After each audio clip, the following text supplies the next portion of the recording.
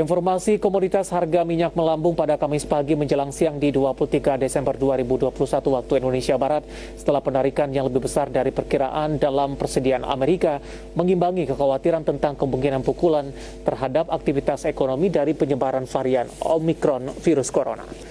Dikutip dari Reuters, minyak mentah berjangka Brent patokan internasional ditutup melonjak di 1,8 persen menjadi 75,29 dolar Amerika per barrel.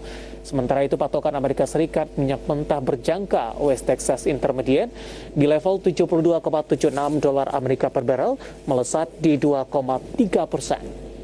Persediaan Amerika turun lebih dari ekspektasi dengan stok minyak mentah menyusut di 4, 7 juta barrel. Pembatasan mobilitas yang didorong virus corona di seluruh dunia menambah kekhawatiran akan penurunan permintaan bahan bakar. Rally pasar minyak juga didukung sebagian oleh utilitas Eropa yang mengalihkan sumber listrik mereka ke minyak pemanas dari gas karena rekor harga tertinggi komoditas tersebut di negara Eropa. Kita akan coba lihat bagaimana pergerakan dari beberapa harga komoditas updatean terakhir yang berhasil dihimpun oleh tim redaksi kami. Ah, minyak WTI menguat di 0,15 persen di 72,87 dolar Amerika per barrel.